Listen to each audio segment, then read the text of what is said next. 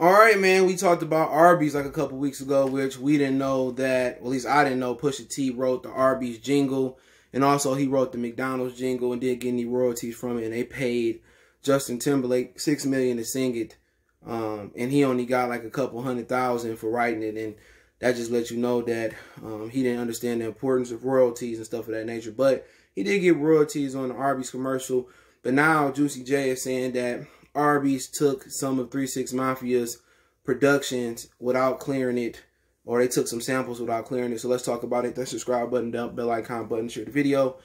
And um, I haven't heard it, but I heard some people that heard it, and they said that it's kind of a stretch. But we'll see.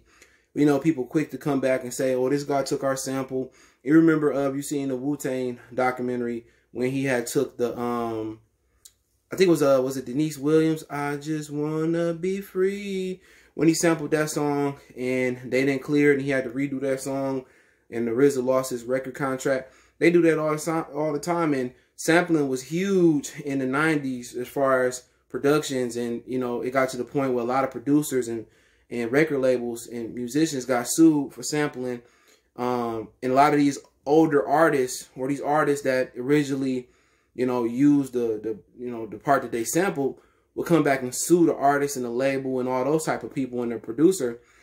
It used to now you used to have to you have to clear them.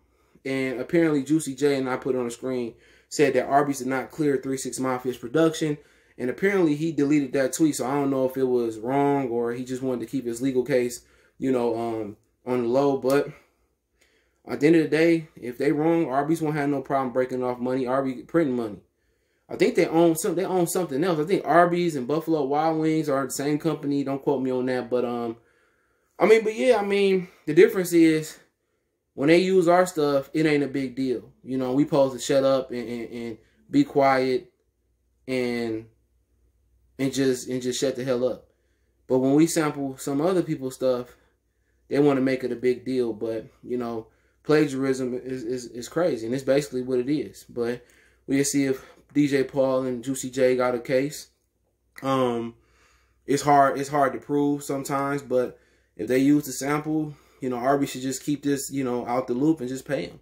Uh, remember Tekashi Six Nine used that uh, African Boy sample, and he gave him like a thousand dollars, and you was crying over a thousand dollars, my G. I mean, using your sample, it should have been like you should have got a hundred bands. I think he got like a couple thousand, a few thousand, or something of that nature. But for Juicy J, do what you got to do.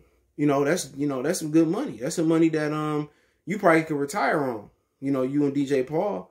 So I mean, if you produced it and it's your work and they stole it, it's your right to go out there and make them pay for it. If you know they paying Pusha T a lot of money to write their jingles, shit, you made you made the production. Maybe you can uh get paid and also get paid for making their next jingle production. So let me know what you guys think. Uh, Juicy J saying that they basically about to sue Arby's for stealing their production or sampling a production uh, in a commercial. So let me know what you guys think. Don't forget we on Facebook, Instagram, Twitter. You can reach out if you have a business question, inquiry, sponsorship, video request. Keep sharing the videos. Want to make a donation to the channel.